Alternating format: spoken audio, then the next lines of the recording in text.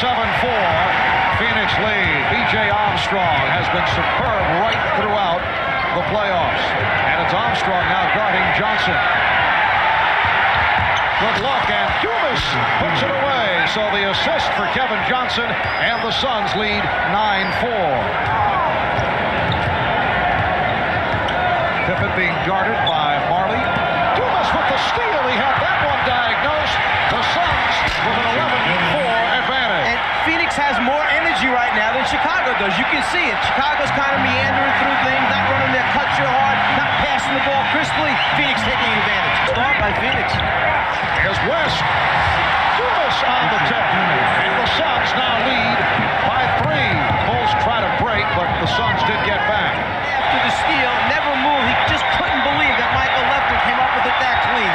Dumas with the second effort following the rejection. And the Bulls now lead by six points. Time now, shot clock. Danny Ainge, who had the strong game on Friday night, has come on for the first time. Here's Johnson, yes.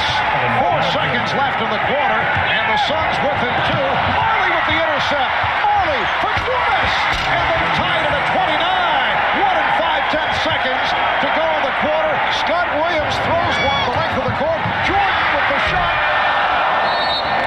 So the Suns score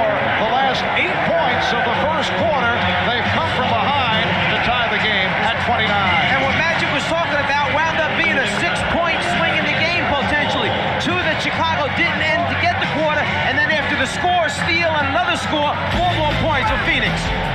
After one here in Chicago, the Bulls 29, the Suns 29.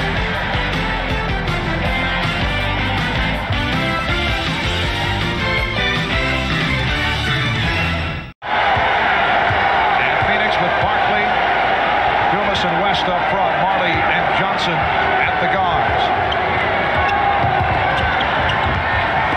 West set up by Dumas. Mark West with his third field goal.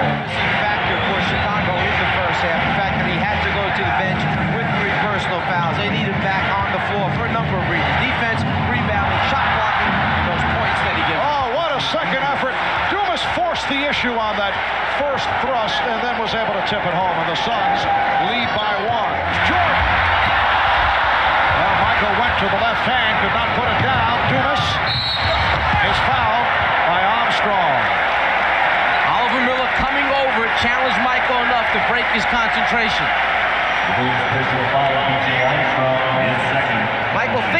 go with the left, but that long, outstretched arm makes Michael bring it down just long enough to fall short. And, and then KJ sees Dumas running down the court, and only thing BJ could do was foul him.